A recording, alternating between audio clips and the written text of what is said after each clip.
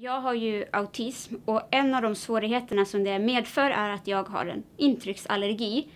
Eller på kliniskt språk perceptionella svårigheter. Men jag kallar det för intrycksallergi. Och det handlar om att jag har svårt att hantera alla intryck som jag möter i vardagen. Jag har svårt för ljud och jag har svårt för ljus. Jag har svårt för dofter. Jag har svårt för smaker och jag har svårt för till exempel lappar i kläderna. Det vår hjärna överarbetar intrycken vi möts och vi kan inte filtrera dem. Det är som att ha knivar i tröjan och ljud på megafonnivå och en stark lampa. Det är som att vara på Arlanda dygnet runt ibland. Det är ljud och det är rörelse och det är doft. Tycker maten smakar mycket mot höga ljud, då är det stopp. Tycker tröjans sömmar skaver och river mot min kropp, mina sinnen går på högvarv, jag har en intrycksallergi. Det kliar inte alls, men det tar så mycket energi. För att sortera alla intryck, det tar en hel del kraft. Så jag har inte all den ork som jag kanske borde ha haft. Och min hjärna jobbar stenhårt för att verkligen fokusera och när jag har gjort allt det, ja då orkar jag inte mera.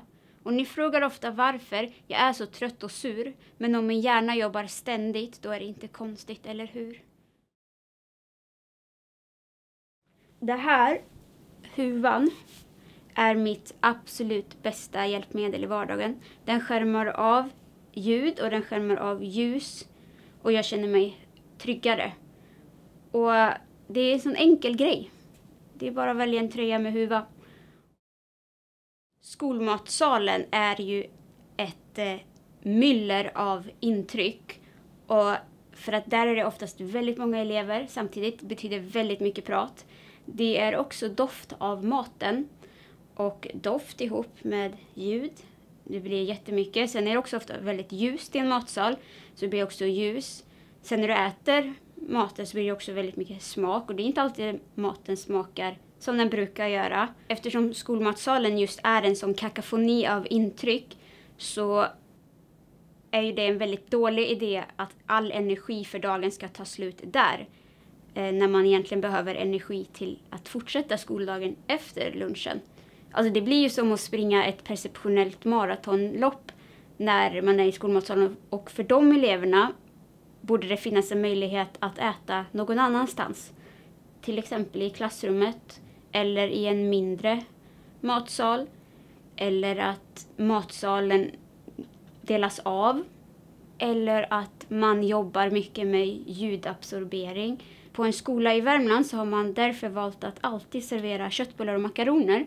För det vet man att de allra flesta elever äter. Och det är vad många elever också klassar som trygg mat.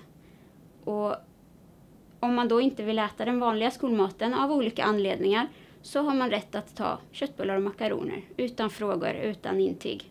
Och jag tycker att det är en så himla enkel lösning på ett väldigt stort problem för många. Mat kan upplevas olika av olika personer och det gäller givetvis personer utan autism också. Eh, men det är oftast väldigt mycket mer förstärkt hos personer med autism. Och för mig så innebär det att jag ser former i mat. Och det handlar inte om hur maten ser ut utan det handlar om hur maten känns inuti min hjärna.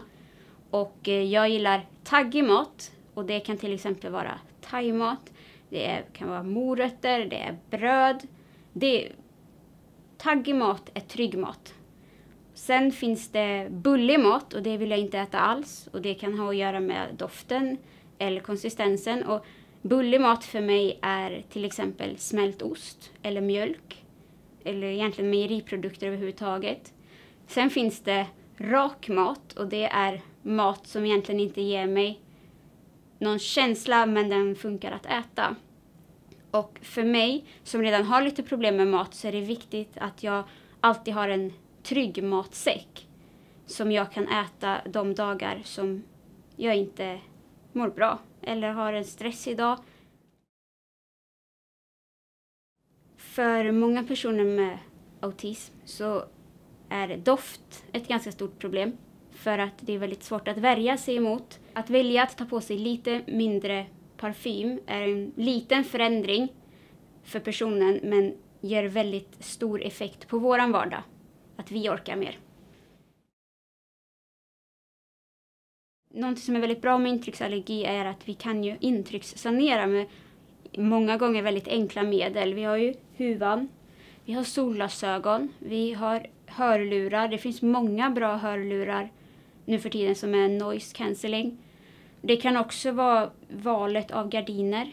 Tyngre gardiner fångar upp ljud bättre som gör att ljud inte studsar i rummet. Men bara en sån grej att om man är på en arbetsplats eller en skola så bara här använder vi inte parfym.